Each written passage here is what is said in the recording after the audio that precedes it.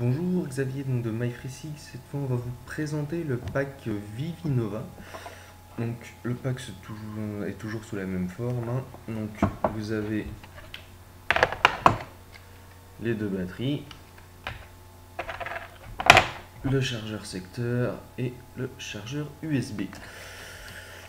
Donc toujours la même chose au niveau donc des batteries.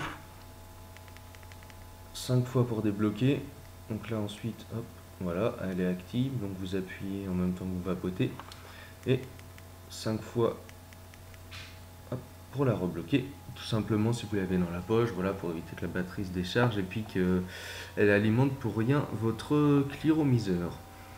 Au niveau du Vivinova, le pack se présente sous cette forme. Donc vous avez le clyromiseur réservoir ici avec une résistance 2,4 ohms qui est déjà montée et vous avez deux résistances de rechange une 2,8 et une 1,8 ohms alors au niveau des résistances euh, donc on a des ohms euh, des valeurs de résistance différentes tout simplement. Alors si vous, plus vous allez descendre dans la résistance donc 1,8 plus le hit sera fort. Alors, il y a un compromis, je dirais, hit rendu des saveurs qui est, euh, qui à l'appréciation de, chacun. Le 2,4 ohm est quand même un bon compromis entre hit et, rendu des saveurs. Après, c'est vraiment une histoire de goût. Donc, avec ces trois résistances, vous allez pouvoir en fait euh, vous-même voir ce qui vous convient le mieux. Au niveau donc, du Stardust, je l'avais déjà pré-rempli. Donc, vous avez une graduation ici, donc vous pouvez mettre à peu près 3,5 ml. L'avantage, bah, c'est que les- l'espace entre les remplissages est d'autant plus important par rapport par exemple à un, un clyromiseur Stardust où on est sur du 1,6 ml, donc là vous mettez à peu près 2 ml de plus, donc euh, voilà, c'est quand, même, même appréciable. Au niveau du remplissage, bah, c'est simple, vous dévissez simplement le cap du haut vous voyez comment ça se présente. Vous faites glisser le liquide ici contre la paroi.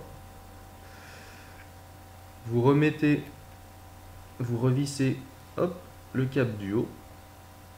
Et vous attendez toujours bien 4 minutes à peu près au niveau du, du le temps que les mèches euh, se soient bien imbibées. Vous vissez sur votre batterie.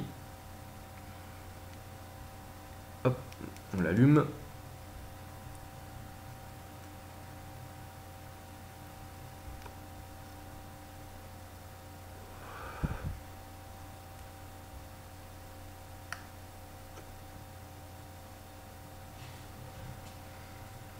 Volume de vapeur assez important.